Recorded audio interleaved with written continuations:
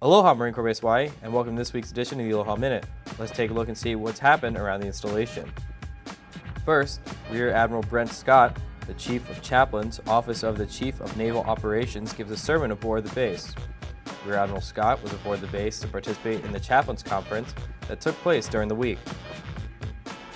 Next, Marines with Fox Company, 2nd Battalion 3rd Marine Regiment, 3rd Marine Expeditionary Force, conduct training exercise Bougainville 1.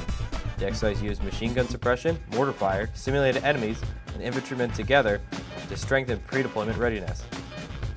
Lastly, to aid in cleanup efforts, the Environmental Department has installed beach cleanup bag stations to encourage everyone to pick up trash they may come across when beach combing. These bags have been added to locations along MCBH, including Fort Hase, Pyramid Rock, and North Beach. That's it for this week's Aloha Minute. Mahalo for watching, and we'll see you here next week.